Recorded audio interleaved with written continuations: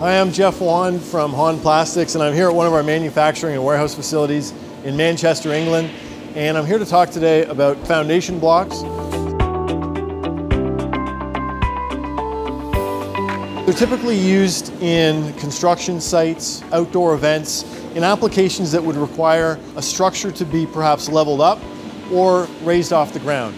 It could be anything from a temporary office to a mobile home, shipping containers.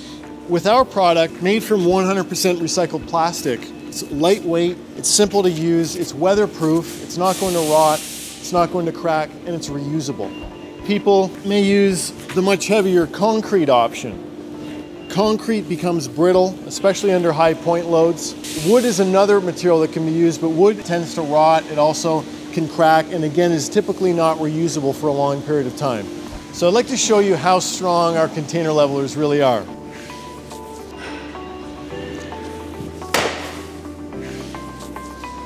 Now I'm going to try the concrete version. Not sure if you can see, there's a, there's a tiny mark, but you could probably hit this 100 times and it would still look relatively the same. Okay, so let me show you how this works. We're gonna stack these 10 high. You can see I'm actually carrying two at a time here. Each of the pieces do have holes in. I'll come back to that in a moment. The nice thing with these slabs is that even if you drop them, which will probably happen on a construction site, they won't break. So the holes that I mentioned earlier allow you to take a piece of steel you just have to wiggle this in. And get that all the way to the bottom. There we go. So you could cut this bar off.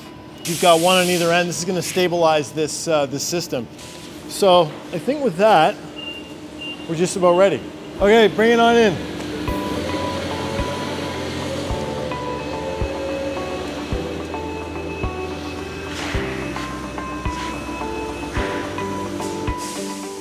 So that's the foundation block.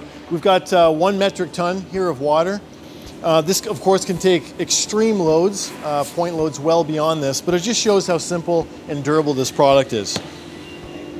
It's really easy. Thanks for watching.